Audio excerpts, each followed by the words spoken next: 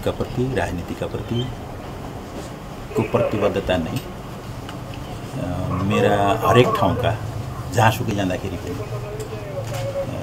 मेरा लागि मेरो जिम्मेवारीका लागि जिम्मेवारी पुरा गर्नका लागि मेरा आधारहरू कृषि आम रूपमा हामी सबै कृषि जान्दछौँ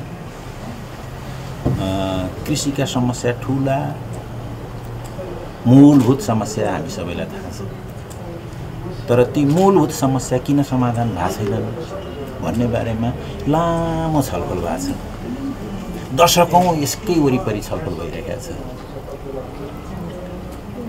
अध्ययन भएको छ खोजी भएको छ।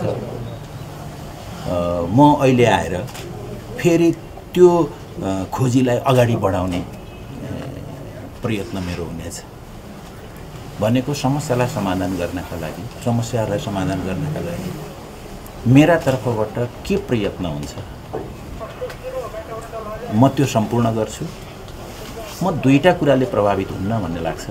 मेरो दाबी त्यति मात्रै हो। म लोभले प्रभावित हुन्न होला भन्ने लाग्छ। म डरले प्रभावित हुन्न होला भन्ने लाग्छ।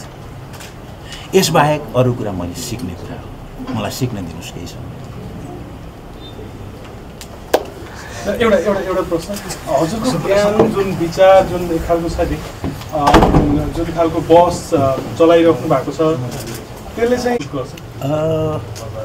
मलाई चाहिँ मैले अहिले चलाएको बहस चाहिँ सबभन्दा बढी यही हो।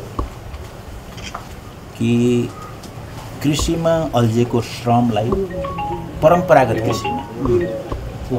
परम्परागत कृषिमा अल्झेको श्रमलाई मुक्त नगरिकन हाम्रो सम्पूर्ण राजनैतिक परिवर्तनको क्रान्तिको अर्थ हुँदैन यसर्थ यो सङ्घीय लोकतान्त्रिक गणतन्त्रलाई थेग्ने त्यसको त्यसको आर्थिक आधार भनेको परम्परागत कृषिमा अल्झेको श्रमलाई मुक्त गर्ने हो। मैले पछिल्लो पटक गएको दस वर्ष गएको बाह्र वर्ष मैले बोलेर आएको कुरा हो।